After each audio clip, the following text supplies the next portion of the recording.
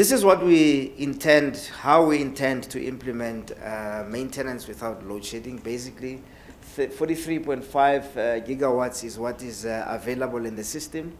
On a summer day, peak uh, is at about 32.5 gigawatts. On a winter day, it's about 35 gigawatts.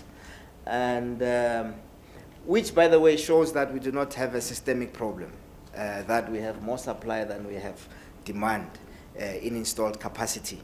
Um, however, uh, if I can take this winter example, we will add an additional 1,000 megawatts for reserve, which is uh, required to operate the system smoothly.